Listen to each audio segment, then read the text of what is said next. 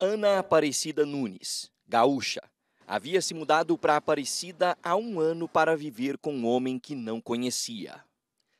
A vítima vivia com a família na cidade de Tramandaí, no Rio Grande do Sul, a mais ou menos dois mil quilômetros aqui de Aparecida de Goiânia.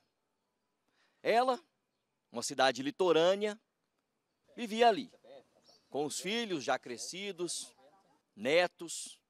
Foi quando ela começou a conversar nas redes sociais. Um homem mais jovem que ela, de uns trinta e poucos anos, ela já na faixa de uns cinquenta e poucos, começou a bater papo ali na internet, nas redes sociais. Eles foram conversando, conversando, o homem sempre elogiando ela bastante. Para a família, ela falava que tinha um amigo na internet. Mas não era isso que ela planejava. Após muita conversa e as cantadas desse homem, ela resolveu largar tudo, deixar a família lá e vir para Goiás. Agradava ela, elogiava, falava mil uma coisa para ela. E, e fica, era só amigo e era só ali na internet. Até então que ela pegou e resolveu do nada ir trabalhar em Floripa. Ela falou para vocês que iria trabalhar em Floripa, Florianópolis. Florianópolis, isso aí. Ela ia trabalhar em Florianópolis, cuidando uma filha de uns patrão dela, como ela trabalhava lá na praia. E foi. A gente disse, ah, é trabalho, né? Vai, é aqui perto, não é tão longe. Foi. E a gente descobriu dias depois que ela estaria aqui, na, em Aparecida de Goiânia, com esse rapaz que está com ela, sabe? Que estava com ela esse, durante um ano. Em um ano, foi muito sofrimento. Em um áudio, ela mostra o desespero que estava naquele momento. Não aguento mais isso aqui. Por favor, arruma da vez. Dá um jeito para mim, faça favor, minha filha. Eu tô ficando desesperada, dá um jeito.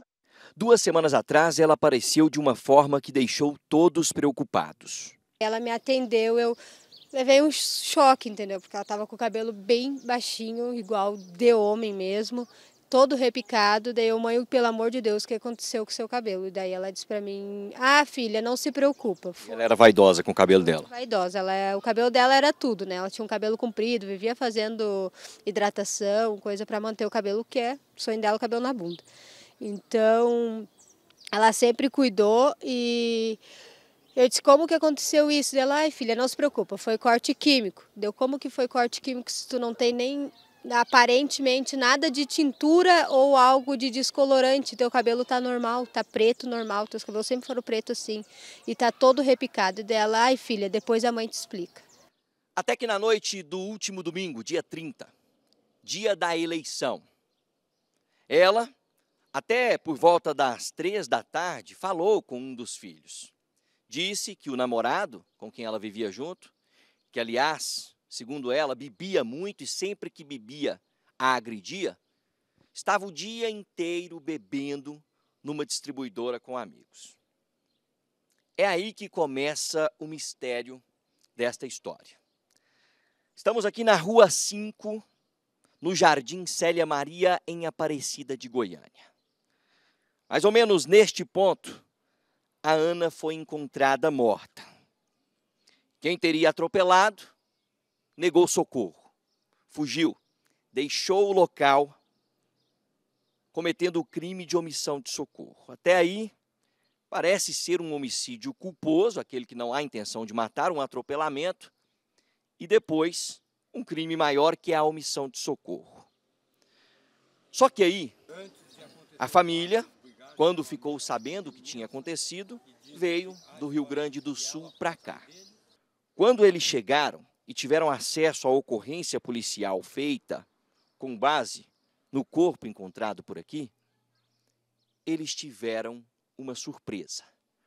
O que parecia ser um homicídio culposo pode ser um assassinato.